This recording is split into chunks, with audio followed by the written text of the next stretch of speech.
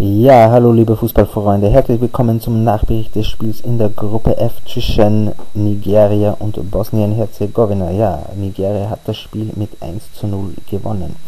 Ja, in der Startaufstellung bei Nigeria, wie erwartet, war Oboa Bona nicht fit. Für ihn hat Jobo gespielt, der ja schon gegen Iran eingewechselt wurde. Dann im Mittelfeld gab es zwei Änderungen. Da hat Udembingi von Beginn an gespielt, statt Aziz und auch Babatunde statt Viktor Moses und bei den Bosniern in der Innenverteidigung hat Sun Sunic statt Bicacic gespielt.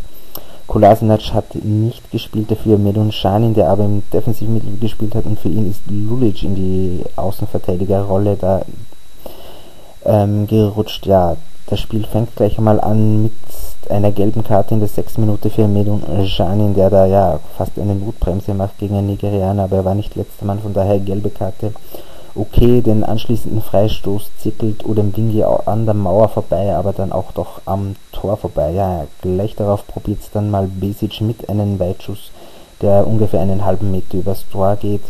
Dann in der 11. Minute ein Schuss von John Obi Mickel, aber der geht auch nur knapp neben das Tor.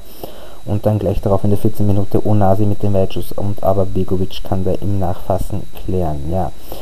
Auffallend war in den ersten Minuten Bosnien eigentlich, ja, fast schon wie gegen Argentinien eher ideenlos. Sie waren sehr leicht auszurechnen und Nigeria war eigentlich, ähm, ja, haben viel direkter gespielt. Ja, in der 21. Minute dann eine, ja, eine entscheidende Situation. Misimovic mit einem schönen Pass auf Dzeko. Er schiebt den Ball auch ins Tor, aber der Linienrichter hebt die Fahne und das Tor wird wegen Abseits nicht gegeben, aber in der Zeitlupe konnte man erkennen, dass das eine Fehlentscheidung war, denn Jacko war nicht im Abseits. Und so sind die Bosnier um, ja, um die 1 zu 0, um den 1 zu 0 Führung ähm, ja, betrogen worden. Das ist natürlich äh, bitter. Ja, dann gleich drauf in der 22. Minute gab es dann Chance für Nigeria, eine Hereingabe von rechts über Ambrose und Musa verpasst er nur ganz knapp. Ja, in der 25. Minute ein Chance für Edin Dzeko, schießt halb rechts, aber Enyama kann da gut parieren. Und dann in der 28. Minute ein Weltschuss von Hajrovic. Kleine Unsicherheit von Enyama, der da nur abprallen lassen kann. Ja, aber dann in der 29. Minute kam da das 1 zu 0 durch Peter Odem Wingi. Emenike setzt sich da auf der rechten Seite sehr gut gegen Spahic durch, kein Foul.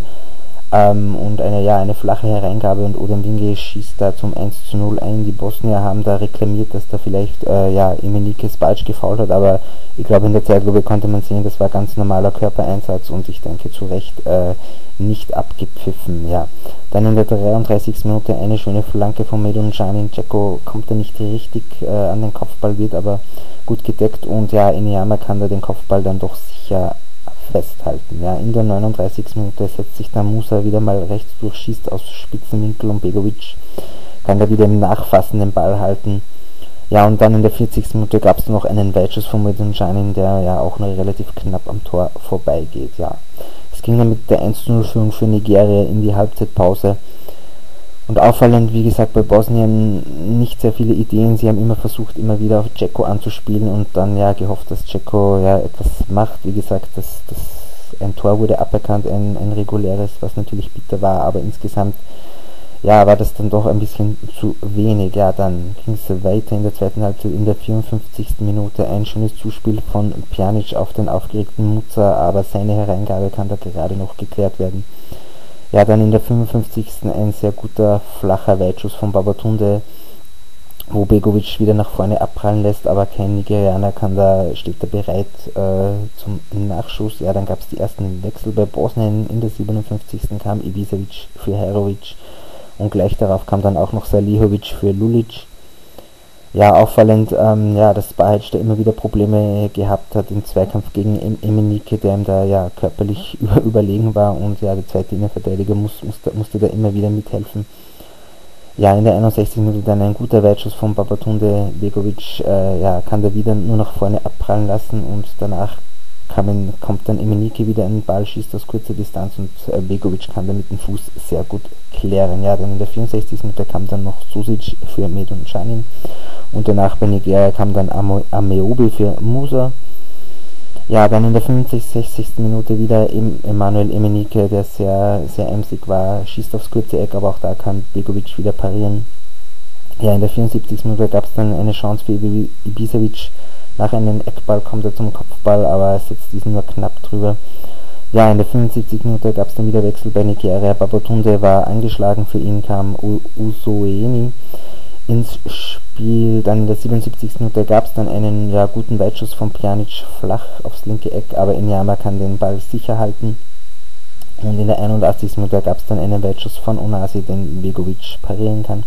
Ja, in der 82. gab es dann noch gelbe Karte für John Obi Mickel, nachdem er Pjanic gefault hat.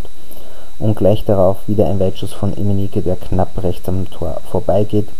In der Nachspielzeit haben die Bosnier dann noch gedrückt auf den Ausgleich, ein Kopfball von Ceko nach einer Flanke von Pjanic, aber der Ball fällt zu zentral aus. Keine Probleme für Enyama und die Riesenchance zum Ausgleich dann in der 93. Minute wieder kommt Dzeko im Strafraum zum Ball, setzt sich durch und schießt aus der Drehung, aber Inyama kann mit einer schönen Parade den Ball an den Pfosten lenken und ja, und rettet somit den 1 0 Sieg von Nigeria. Ja, für Nigeria war das der erste WM-Sieg seit 1998 und ich würde sagen, auch trotz der Fehlentscheidung des Abseits von Bosnien, muss ich sagen, war das ein verdienter Sieg der Nigerianer. Sie waren viel spritziger, sie waren gefährlicher, sie haben ja öfters auf Tor geschossen und am Ende, ja, Inyama hat hinten sehr gut gehalten. Odem Winge, der diesmal von Beginn an gespielt und auch das Tor gemacht hat, hat hier sehr gut gespielt. Auch die beiden Mittelfeldspieler, Mikkel und Onasi, waren äh, sehr, sehr aktiv und auch Emenike, wie gesagt, hat da die bosnische Abwehr, die nicht sehr sicher ausgesehen hat, immer wieder vor Probleme gestellt. Ja, insgesamt muss man sagen, Bosnien eine doch sehr enttäuschende Leistung. Ähm, wie gesagt, ein reguläres Tor zwar aberkannt, aber am Ende war das, war das dann doch zu wenig und sie waren nicht spritzig genug, sie waren vor allem in diesem Spiel physisch unterlegen. Sie haben zwar oft ein, sehr viel Ballbesitz gehabt, aber sehr ideenlos, immer wieder hohe Bälle auf Jacko gespielt und äh, insgesamt muss man sagen, dass das dann doch zu wenig ist und äh, sie verdient äh, ausgeschieden sind. Ja, das war mein Nachbericht zu diesem Spiel Nigeria gegen Bosnien-Herzegowina. Nigeria gewinnt mit 1 zu 0.